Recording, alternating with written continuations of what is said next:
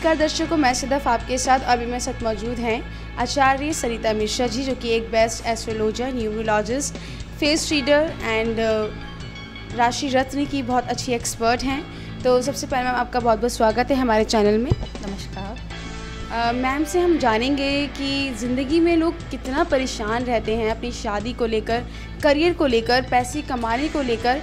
तो ये सब चीज़ें बहुत मायने रखती हैं। तो इनका क्या उपाय हो सकता है? किस तरह हम इन परेशानियों से अपनी ज़िंदगी में एक सही राह पा सकते हैं? तो कैसे ये सब चीज़ें हमारी ज़िंदगी से हट सकती हैं? कुछ बताएँ। जैसे कि पहली सबसे बड़ी दिक्कत आती है कि शादी ना होना।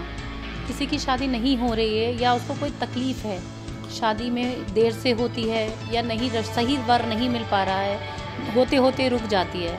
तो हम चाहेंगे कि, मैं आपको बताना चाहूँगी कि उसका सबसे आसान तरीका है इसका मतलब है कहीं ना कहीं आपका गुरु और शुक्र जो है वो कमज़ोर है पत्री में। तो हम चाहेंगे कि आप गुरु का और शुक्र का उपाय कर सकती हैं।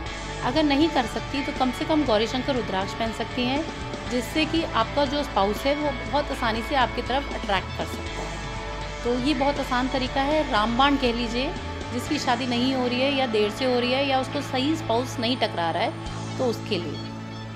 उसके बाद दूसरा प्रॉब्लम है, शादी हो जाती है बट दिक्कतें आती हैं। उसमें कैसे हम एडजस्ट करें?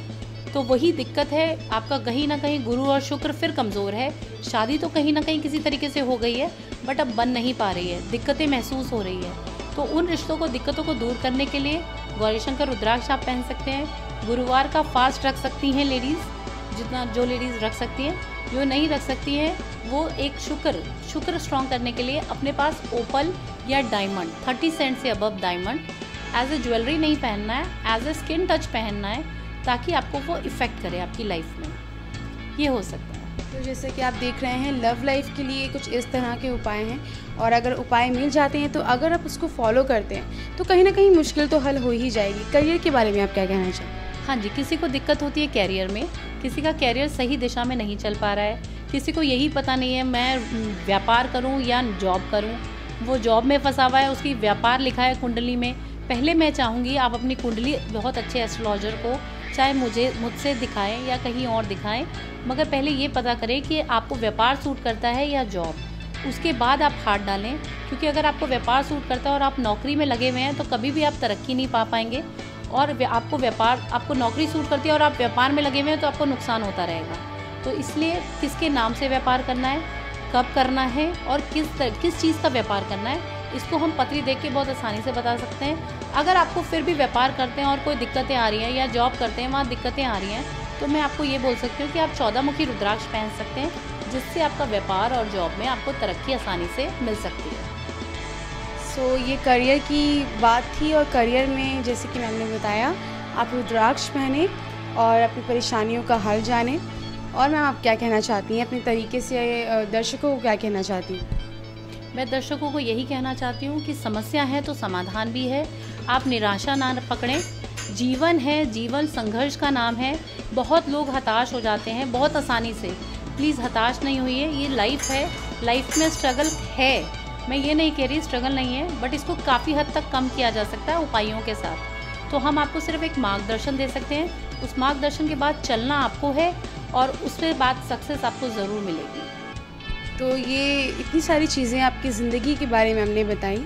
आप फेस रीडिंग के बारे में क्या कहना चाहती हैं कि एक फेस रीड करके किसी का फ्यूचर किसी की परेशानी को कैसे आप बता सकते बिल्कुल। मैं आपको बताना चाहूँगी कि मैं बालों के द्वारा, नाक के द्वारा, कानों के द्वारा फ़ोटो के द्वारा, माथे के द्वारा, इंसान के चरित्र के बारे में या इंसान के भविष्य के बारे में काफ़ी हद तक बताया जा सकता है। अगर आपने ध्यान दिया हो तो जिसके करली हेयर्स होते हैं, कहते हैं कि उसकी जजमेंट बहुत स्ट्रांग होती है। इसका बहुत अच्छा एग्ज़ाम्पल है कि अगर आपने देखा हो तो हम, अगर टीवी में भी आपने देखा हो तो जज को हमेशा करली हेयर्स की बिग पहनाई जाती है। क्यों? क्योंकि करली हेयर्स पहनने से जजमेंट बहुत अच्छी होती है। जिसके करली हेयर्स होते हैं, उसकी जजमेंट हमेशा स्ट्रांग होगी। इसलिए जज को हमेशा उस तरीके की विग पहनाई जाती है। ठीक है? जिसके बाल छोटे होते हैं, उसको वो इंडिपेंडेंट लेडी होगी। अगर उसके बाल कंधे से ऊपर हैं तो। वो लेडी मैक्सिमम आपको इंडिपेंडेंट मिलेगी और अपने डिसीज़न अपने आप लेती होगी और जिसके बाल कंधे से नीचे होंगे, वो लेडी थोड़ा सा डिसीज़न में कमज़ोर होगी। जिसकी मांग निकली होगी, मांग सीधी निकालती है, उसके जीवन साथी की उम्र लंबी होती है, उसको पूर्ण रूप से पति सुख मिलता है। ठीक है, यही बता सकती हूँ बालों के बारे में। अब हो गई आँखों के बारे में। आँखों का रंग किसी का काला होता है, किसी का भूरा होता है, किसी का नीला होता है, सबका अलग अलग रंग होता है। तो हम उस आँखों के रंगों से जान सकते हैं उसके बारे में कि वो इंसान कितना फेथफुल है। आँखों से जाना जाता है इंसान का फेथफुलनेस जिसके आँखों का रंग काला हो, उस पर आप पूर्ण रूप से विश्वास कर सकते हैं। जिसके आँखों का रंग भूरा हो, या ब्राउन डिश हो, या कैट आई जिसे कहते हैं, उस तरीके की आँखें हों तो इंसान को उससे थोड़ा सा रिज़र्व रहना चाहिए। ये होता है। उसके बाद हम नाक द्वारा जान सकते हैं उसका शुक्र कैसा है। इंसान का शुक्र नाक के द्वारा। जिस इंसान की नाक पॉइंटेड हो, उसका शुक्र बहुत अच्छा होगा। जिस इंसान की नाक पॉइंटेड ना हो, उसका शुक्र कमज़ोर होगा। उस शुक्र कमज़ोर मतलब उसका चंचल स्वभाव होगा।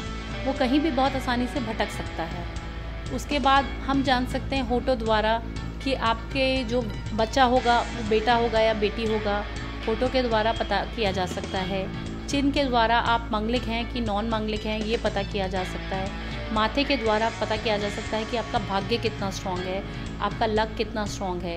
तो इसी तरीके से इन चीज़ों को देखते हुए मैं आपको बहुत आसानी से बता सकती हूँ, चेहरा देख के। ज़रूरी नहीं है कि जन्म पत्री से ही पता लगे। जिस इंसान को अपना date of birth time place नहीं पता, वो चेहरा देखकर भी मुझसे मिल सकता है और संपर्क कर सकता है। उसके द्वारा भी मैं उसका चेहरा और हाथों की रेखा देख के उसके भविष्य के बारे में बताया जा बता सकती हूँ। तो जैसे कि आप देख रहे थे दर्शकों, अभी अभी हमारे साथ मौजूद थी सरिता जी, लेकिन अब हमारे साथ मौजूद हैं राकेश मिश्रा जी। तो वो हमें बताने वाले हैं न्यूरोलॉजिस्ट के बारे में एक से नौ तक। आप बताइए कि इसमें क्या स्वामी होते हैं, क्या होता है इसमें? न्यूरोलॉजी में एक से नौ नंबर होते हैं। तो जो एक नंबर होता है, वो सूर्य का होता है। तो जो सूर्य है, उसका स्वामी एक नंबर का, जो जो व्यक्ति होगा एक नंबर वाला, वो उसका स्वभाव जिद्दी होगा। और जो दो नंबर है, वो चंद्रमा का बताया गया है, दो नंबर। और चंद्रमा का जो स्वामी है, जो चंद्रमा का जो दो नंबर है, उसका स्वामी चंद्रमा है, इसकी वजह से वो आदमी थोड़ा शांत स्वभाव का होगा। तीन नंबर कहा गया है, बुद्ध का। जिसका ये नंबर है, तीन नंबर, वो वो व्यक्ति थोड़ा ज़्यादा बोलने वाला और बुद्धिमान। बुद्धिमान व्यक्ति होगा। चार नंबर राहु का है, वो व्यक्ति थोड़ा सा कंफ्यूज करने वाला। आप आपको भी कंफ्यूज करेगा और खुद भी कंफ्यूज रहने वाला व्यक्ति होगा। पाँच नंबर सूर्य का है, वो बुद्धिमान व्यक्ति होगा, पाँच नंबर वाला श्रेष्ठ होगा। जैसे कि हम जज जज समझते हैं, जज और नेता और दो, इस तरह के व्यक्ति होंगे श्रेष्ठ। मान, समाज में मान सम्मान जिनका होगा ज़्यादा।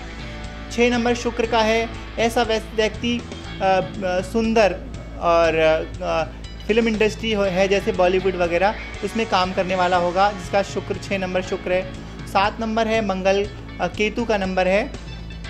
तो सात नंबर का स्वामी केतु है तो वैसा व्यक्ति बहुत ज़्यादा सीधा, साधा, साधारण व्यक्ति होगा। आठ नंबर शनि का नंबर है, ऐसा व्यक्ति टेक्निकल डिपार्टमेंट में हो सकता है। अच्छा अच्छा करेगा टेक्निकल में कंप्यूटर लाइन में, और एल्यूमिनियम की इंडस्ट्री लगा सकता है। ऐसा व्यक्ति नौ नंबर मंगल का है भूमि से रिलेटेड जैसे प्रॉपर्टी का काम है या और कोई काम आपको करना चाहे तो वो कर सकता है। तो जैसे कि आपने देखा हमने न्यूमरोलॉजिस्ट के बारे में जाना राकेश जी से अब हम जानेंगे पितृदोष और काल दोष के बारे में। सर कुछ बताएँ। नमस्कार दोस्तों मैं राकेश मिश्रा। बारह प्रकार का काल दोष होता है। मैं उनका आपको नंबर वाइज नाम बताऊँगा और ये हमारी कुंडली में क्या प्रभाव डाल सकता है मैं वो भी बताऊँगा। और रेमेडीज़ मंत्र क्या है इसका मैं आपको वो भी बताने जा रहा हूँ। पहला होता है अनंत नामक कालसर्प दोष और दूसरा होता है कुलिक नामक कालसर्प दोष। तीसरा होता है वासुकी नामक कालसर्प दोष।